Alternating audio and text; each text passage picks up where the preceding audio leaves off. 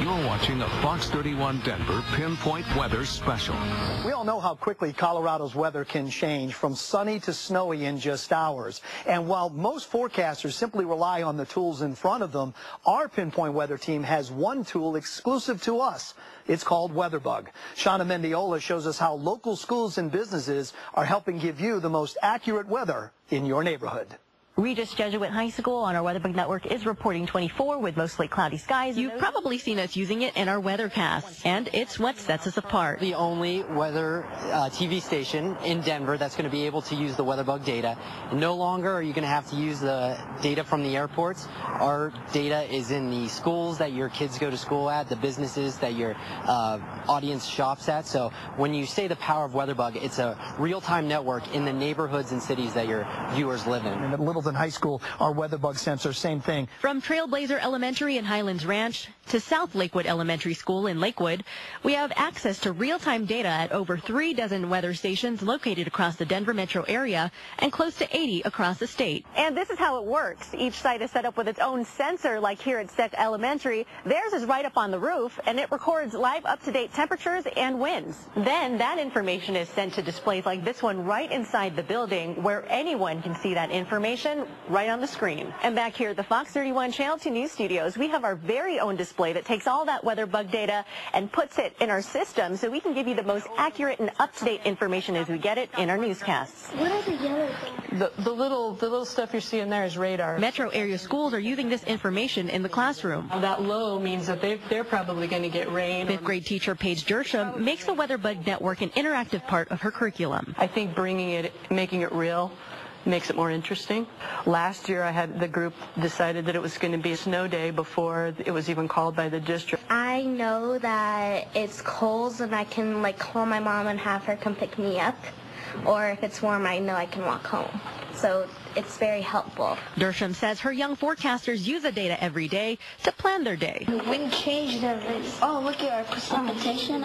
I can't say that right. Sorry. Precipitation. Yeah, we barely read anything. She hopes that even this simple application to real life sparks an active interest in meteorology and will lead to careers in science. Who wants to be a weather person when they grow up? The WeatherBug Network goes even farther than just reporting temperatures, winds, and precipitation at schools. This year, the Cherry Creek School District is using a brand new lightning detection system to keep their student athletes safe during spring sports. It was a scary moment two years ago that made Cherry Creek Athletic Director Larry Bull take action. We were having a game, uh, Cherokee Trail versus Fruita Monuments, out at Legacy Stadium. And it came that there was a storm approaching approximately 10 miles away. And as soon as he said that, within a matter of 15 seconds or so, it was right on top of us. Athletic directors on the field had handheld lightning detectors, but they gave no warning of how soon lightning would strike. It was a full house, and it was just an uncomfortable feeling um, with the fans and the, the players. Um, with the lightning right on top of us. Statistics show lightning kills an average of 54 people and injures hundreds every year, with student athletes among the risk. In Colorado, there's a lot of times when, like, it can be sunny, and then like five minutes later, a storm rolls in, and all of a sudden it's lightning. And it's nice when you can know ahead of time that those storms are coming, you can get to safety. Now, stadiums at Cherry Creek High School and Cherokee Trail High are the only two schools in the Denver metro area with new WeatherBug outdoor alerting systems. They're part of the largest network with over 700 sensors worldwide, working together to pinpoint the accuracy of the area. Whether it's lightning in the clouds or lightning hitting the ground, a siren sounds off whenever lightning is within a 10-mile radius. Nobody misses it because it's so loud. Oh, well, you know, you're in the middle of a soccer game and you see the clouds coming in. You're up high on the field. You can see to the west. And you see the storm moving in, and it's kind of scary, and you're wondering. And then you hear the siren, and you know exactly what to do. And each time a siren goes off, personnel are notified through email or text. And the siren is so loud that it not only benefits the students and the parents in the stands, but also the businesses and the residents in the area. It's something that I've never really thought of, but to know that there is something that I would physically hear.